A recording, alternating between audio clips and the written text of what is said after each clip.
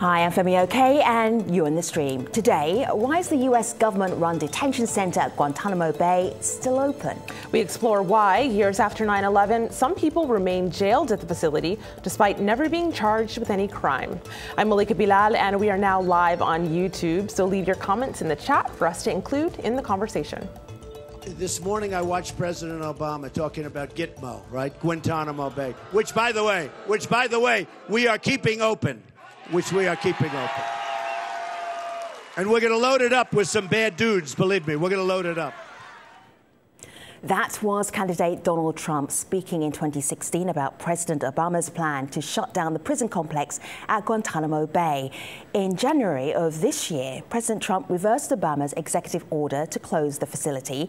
He reiterated its importance to the so called war on terror at the State of the Union address. Have a look asking Congress to ensure that in the fight against ISIS and Al Qaeda, we continue to have all necessary power to detain terrorists wherever we chase them down, wherever we find them. And in many cases, for them, it will now be Guantanamo Bay. In July, lawyers for eight Guantanamo inmates who have never been charged with a crime launched a case challenging their detention.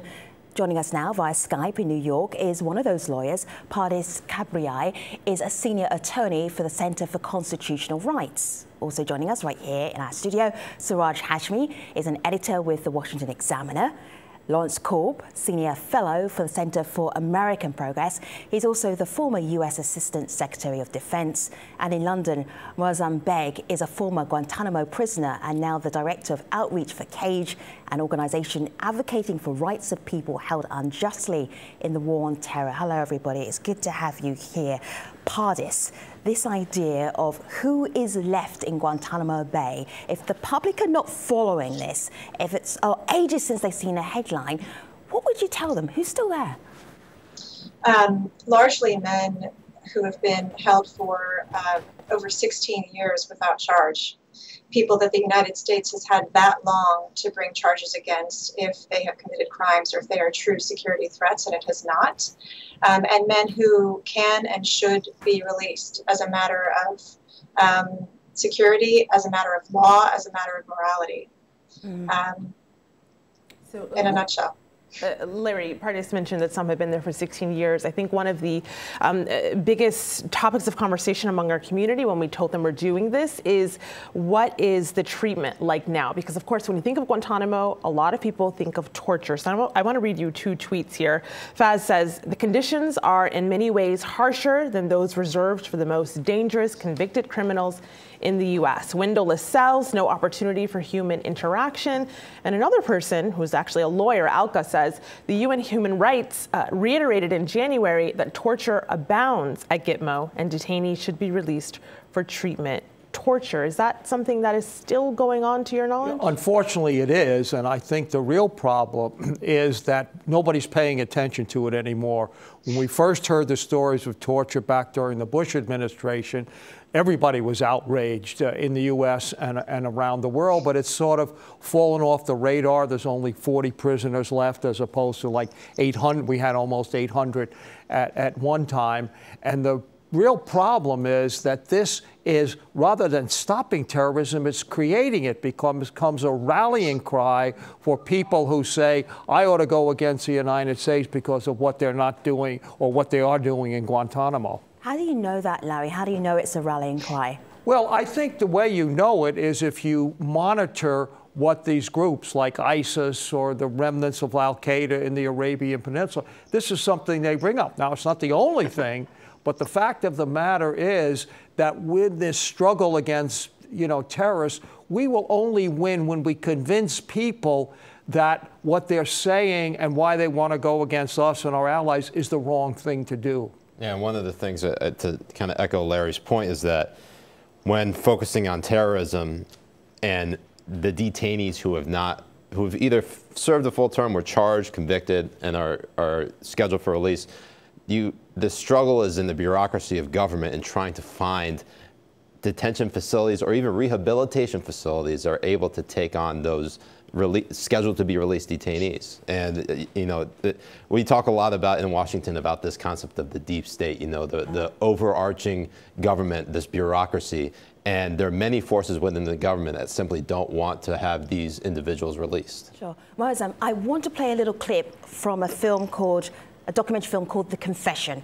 Uh, it talks about your story. Uh, at the beginning, it tells what happened to you and what it was like for you because you've told your story so many times. I want to do it via this little bit of a trailer. So have a look at this. This is the beginning of the trailer for The Confession. So it was midnight. There was a knock on the door. They put a gun to my head. They hooded me and they shackled my hands behind my back. That was it. I woke up in Guantanamo. Moazzam Begg from Birmingham, who was arrested by the CIA in Pakistan, is now being held at Guantanamo Bay in Cuba. Never been convicted of any crime. And then you hear about this bureaucracy, the paperwork, we don't know where to put people. This is 16 years later, Moazzam. What do you have to add to uh, the situation in Gitmo right now? How do you see it? Well, some of the work that I've been doing with my organization, organization Cage, um, has been documenting and speaking to a lot of the former prisoners around the world, incl- including, uh, for example, a very close friend of mine, Shaker Aamer, who was held there for 14 years without charge or trial. I was only held for three, so I'm a relative novice uh, in comparison to him. And the first thing I have to say about what's what's happened to these guys is you know, there's all this issue about the definitions of torture that happened under the Bush administration, that if it wasn't organ failure or death, uh, according to the uh, most senior legal advisor to the government, then it wasn't um, torture. Uh, and then you had Obama coming along saying that even though we tortured some folks, um, that torture, those torturers would not be prosecuted. The United States did a, um, a Senate report on torture, which admitted uh, bizarrely that they tortured at least 119 people, no prosecutions. And that's why today you have a president who says, I believe torture works. I would waterboard on a lot more. I'm going to load up Guantanamo with more prisoners. And um, uh, and so you've got this uh, return. In fact, you know, the Bush administration never said that we agree or, w- or, or would torture. They simply called it enhanced interrogation techniques. What you have today is an administration led by a man who says he would torture and continue and believes in torture. And the aspects of torture, of course, are all the physical uh, parts that, that, that, we've repeated so many times. Mm. But the greatest torture is to be held without charge or trial for a crime that you haven't even been told uh, that you've committed. And in the midst of all of that, you've got the destroyed lives of people, those who've been returned and resettled. Of, the, of, of amongst those, I've found myself fortunate. I'm British, born and raised here. But there are people like the Uyghurs, for example, from eastern Turkestan in China, who've been sent to places like El Salvador, Palau, um, uh, uh you know, places in the Uruguay, and, and places they have no connection to, no language skills, no ability to communicate, no history, no culture, and they're supposed to somehow pick up their lives and return to wives and children that have grown up without them, in some cases not even being able to recognize their sons. And there's no, there's been no sense of redress in any way by the United States of America for these destroyed lives. So, like Larry said, when these images and stories go back to other people and groups like ISIS, they say, look what they did to these guys. That's the land of justice. That's the land of freedom, democracy. They have habeas corpus and Magna Carta as part of their constitution.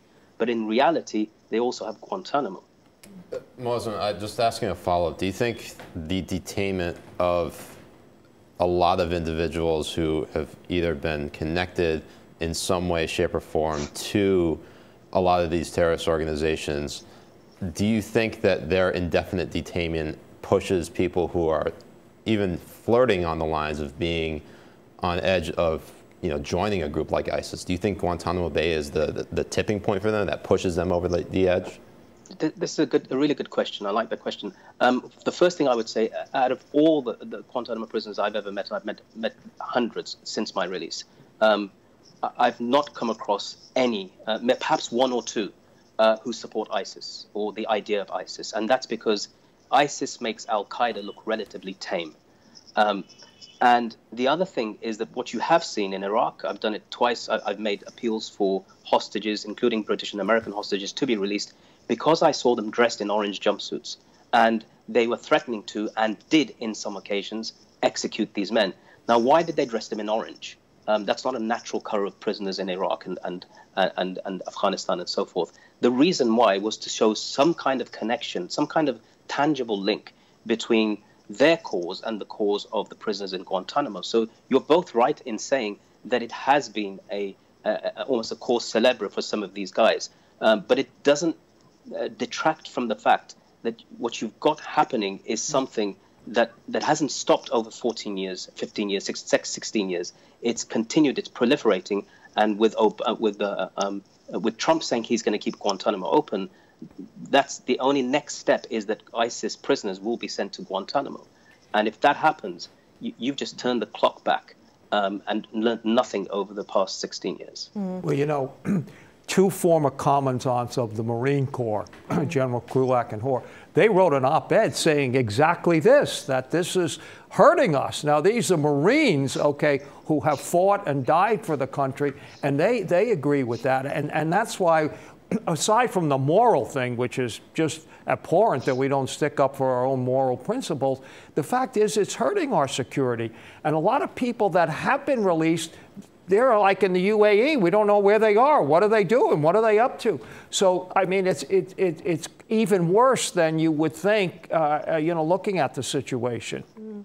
I, want to bring in um, a, a, viewer comment. Um, this is from a teacher, a high school history teacher in San Diego, who wrote this piece for Teen Vogue. Take a look at my screen here. Guantanamo Bay explained. He writes, I think all Americans should know what our country has done and to whom. He sent us a video about what it is he tells his students about Guantanamo Bay. Some of them, many of them actually, who uh, were born after it, it, the detention center was set up and so therefore do not know about Guantanamo and have never heard of it. Here's what he told the stream. Even for most people who have heard of it, the images that come to mind are usually orange jumpsuits, barbed wire. Most people couldn't tell you the name of a single person who's kept there. Uh, it's a it's a dehumanizing place. I had the opportunity to meet two men, Lakhdar Boumediene and Mustafa Idir, who were detained in Guantanamo, and who later established their innocence, won their freedom. And I make it a point, I think it's important that I share their stories, that I share their, even their, their pictures with my students. You know, at the end of the day, I would want them to, I want my students to think for themselves about our policy toward Guantanamo, what our policy ought to be. But I think it's important that they understand this isn't some abstract issue. Uh, what we're doing there, we're doing to actual human beings with actual families whose lives are being ripped apart. We, we need to pay attention to their stories. And because he wants to share their stories, he included two pictures he sent us of the people that he's worked with.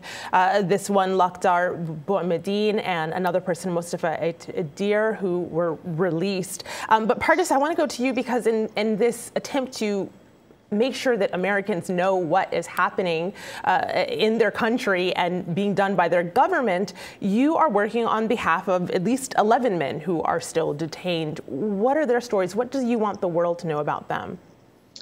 Um, well, I wanted to say, just on the, you know, following up on the teacher's point, I think all the time about how the narrative about Guantanamo, despite everything we know and um, all the debates we've had, uh, you know, the, the government still largely controls the narrative about the men who remain. And that is because of Guantanamo is a remote prison, because of secrecy that still surrounds the prison, because of the fact that reporters who've been covering this for, dec- for over a decade still cannot meet face to face with a single detainee or communicate with him in person. Um, every time I go to Guantanamo, the notes that I take in my meetings are censored, and a filtered, a censored, redacted version is what I can talk about publicly. So it's just a, it's a crucial point that it's not only dehumanizing, but the distance and the secrecy and the lack of access that still surrounds the prison has everything to do about with, with you know this narrative the government or proponents of Guantanamo, people who are in support of keeping it open and who talk about the men who, who remain as the worst of the worst, how they are able to continue that narrative and how it's able to continue to take hold in the public. Um, because still in 2018, that kind of basic access to the men who remain is not there and their stories cannot get out. Um, and so it ends up being a debate between what the lawyers say and what the government's lawyers say, you know, what the defense lawyers say and, and, and the government, the government versus us. And in many cases, it's hard for us to win. Um, you know, the government's word trumps. It trumps in court often, and it trumps in the public. Um, so that's just a, it's a really crucial point to understand about where we are still in 2018. The men that I represent, I'll talk about some of them. One is uh, a Yemeni man. He's 43. His name is Sharkawi Al Haj. He's been in U.S. custody for over 16 years without charge. The government has had that long to determine if it has evidence that he committed a crime and charge him with it. It has not. He's someone the government will probably never, never charge. And according to its position in court, it would it believes it has the authority to hold him uh, perpetually, potentially for life without charge under this theory that the U.S. continues to be in the same armed conflict that it was 17 years ago at the time of his capture, um, that extends worldwide, that extends to unspecified and constantly morphing new or new groups, new terrorist groups that didn't exist at the time of 9/11, mm-hmm. that have nothing to do with him, um, and that it can continue to, continue to hold him for as long as the fighting continues, which in its theory is when Al Qaeda or these terrorist groups surrender to the United States, which is totally unrealistic. I mean, the government's lawyers stood up in court. Sure. We had oral argument on our challenge recently last month, and the government's lawyers stood up in court and said we could detain men at Guantanamo for 100 years um, if we had to. We have that authority. Um, so that's the position it's taking. Um, for a man who made a decision 17 years ago when he was in his 20s to go to Afghanistan, who's never been alleged to have participated in any uh, actual violence who's never been alleged to have carried a weapon, uh, fought against the United States or its allies, mm. but who could be could who is looking at life, a life sentence at Guantanamo without charge. Siraj, I'm thinking that part of the reason this is happening because no outcry from the American public, right.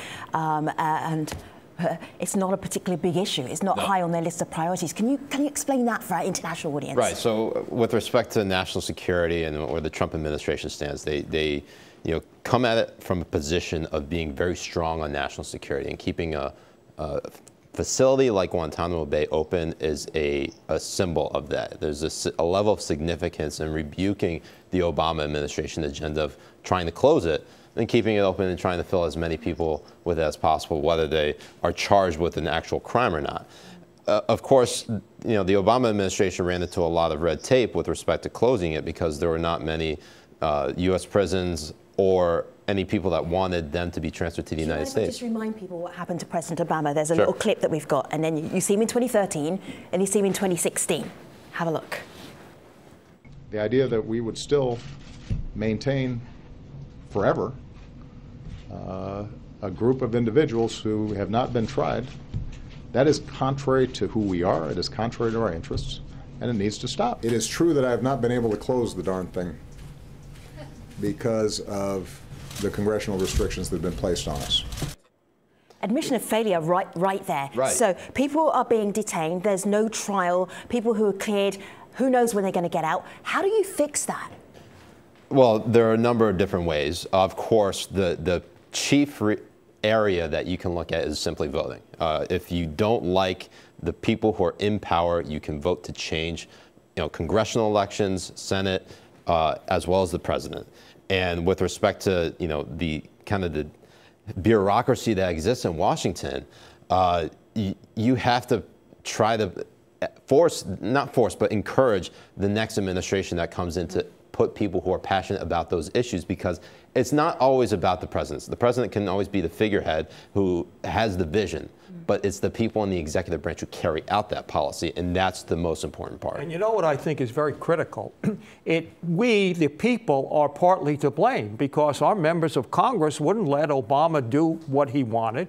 And when we tried to transfer some of these folks to American prisons, the communities got all, all upset. So it's not, you know, I think as a country, we have to, you know, get our act together. And I think it would be wonderful if this would be an issue in the next election that people would talk about and say, put me in there and I'm going to fix this problem so more Americans are not going to get killed. The, the reason, though, it won't ever become a, a primary reason is because if you look at the politics of it, if you are if you are for closing Guantanamo Bay, that can put you in the camp of being a terrorist sympathizer. That it's just as easy as that. Really? Oh, for sure.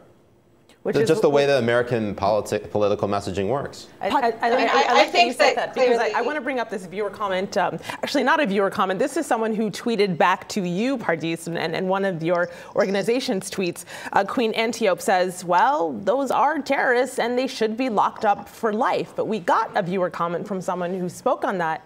Alka, the, the lawyer, says the biggest challenge is that we successfully convinced most of the U.S. and the world that the 800 were all terrorists when most were sold for bounty. And trying to re educate now, which no administration has actually done, is near impossible. And, and before you answer that, I, I, just wanted to share this uh, viewer comment of someone was watching the show uh, live and sent this in. He's a, a former detainee, Adayfi. He says, In fact, we haven't escaped Guantanamo yet. I was moved from Guantanamo to another one, and worse, he was held from 2002 to 2016 and is now in Serbia. Uh, but Pardis, I know you wanted to comment on that earlier tweet. Um, there's a lot to unpack there. I mean, in terms of, you know, they're all terrorists, I would ask that viewer to ask the question to herself what actually does she know about the men who are detained there, or frankly, those who've been released? It doesn't come from the government's mouth. Um, from you know spokespeople for keeping Guantanamo open. Um, has she ever had real exposure? Has she been able to hear the other side of the story fully, uncensored? No. I mean, the answer is no to those questions. Um, in terms of breaking down the, the population right now, of the 40 men who remain, 31 have never been charged with a crime. Um, they are being held for alleged conduct that they did you know, 17 years ago at the time of capture. The only evidence the government has ever had to show to justify their detention is um, is only the amount of evidence that you would need to prove a breach of contract case, a negligence case. We're talking about incarceration and life imprisonment, and the standard of ev- evidence the government has been held to, to has been held to is one of the lowest that exists in the law. Um, five of the men who remain have been cleared for transfer by the government itself. That's important to understand what that means. That means that every government agency, government agency, not defense lawyers, with a stake in these detentions, has gotten together, looked at the government's information about these people, and determined that their continued detention is not necessary for U.S. national security. Pardis, uh, Pardis, basically, you are taking the Trump administration to court over this. W- How confident do you feel that the judges will will say you have a good case? I feel confident in our legal position, Mm. which is that um, indefinite detention without charge, and in particular on the standard of evidence that the government has been held to, is entirely novel and unprecedented Mm. in uh, in terms of U.S. law, and it's prohibited by international law. So I feel very confident in the legal positions we're taking. Sure. Um, I think it remains to be seen. You know, I don't know how the judge will decide. Um, we thought when we brought our first Guantanamo case in 2004 or 2002 on behalf of detainees at that time, right after 9/11, that we had very little chance, and we and we won. Right. I think the courts are our chance. I agree also with Larry that the public needs to care. It is there is pressure that people can exert on their members of Congress um, that matters. And I think it is it's hard in this time of crisis everywhere under President Trump to to pay attention to Guantanamo. But there is it's crucial to remember that public pressure still matters. All right, Pardis, I- there's- I'm going to leave it there. Thank you. Public pressure still matters. Malika, what's going on online? I will end with this tweet from Lauren, who says, Above all, Guantanamo's existence cannot become an accepted fact. Anyone who believes in fair trial rights needs to keep themselves informed as to what's happening. We can't turn a blind eye.